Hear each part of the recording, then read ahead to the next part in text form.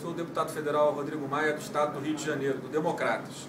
Né, o primeiro tema colocado é o voto distrital. Essa questão do voto distrital, voto distrital misto, voto misto é sempre muito polêmico.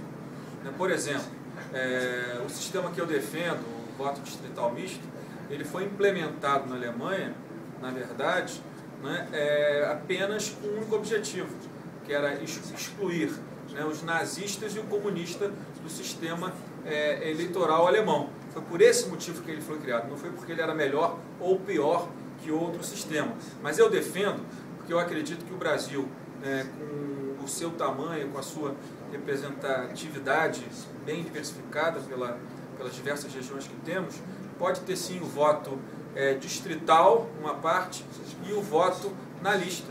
Por quê? Porque assim nós vamos ter dois tipos de representação. Nós vamos poder ter a representação né, do, do quadro acadêmico que vem numa lista representando os seus advogados, os economistas, né, você vai poder ter uma parte representada né, por essa lista partidária, onde até o, o próprio representante do partido político vai ter o seu espaço, e por outro, né, a representação local, onde o tema local, o tema dia a dia do cidadão vai ser prioridade para essa parte do eleitorado. Qual é o problema é, da implementação do voto distrital? É que o Brasil tem uma, uma, uma questão que precisa ser resolvida.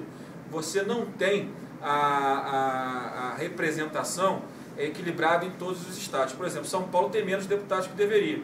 Em compensação, estados menores têm no mínimo oito deputados. Alguns estados deveriam ter apenas um ou dois deputados. Então, você vai precisar adequar a realidade brasileira, que é muito distinta, a, a, a esses modelos. Então, por isso que eu defendo o distrital misto, porque eu acho que você vai ter uma mistura nos partidos e no Congresso da representação mais temática, para o debate de ideias, para a formulação de ideias e também o voto distrital, onde a representação é bem local, onde o eleitor está bem próximo ao eleitor, a cobrança é permanente e essa mistura eu acho que dará uma agenda é, boa para o Congresso, uma agenda boa para o país, onde esse mix pode garantir né, é, essa agenda onde a gente possa tratar ao mesmo tempo de coisas mais é, do dia a dia, melhoria dos serviços públicos, que é fundamental, mas também pensar no debate o Brasil a médio e longo prazo.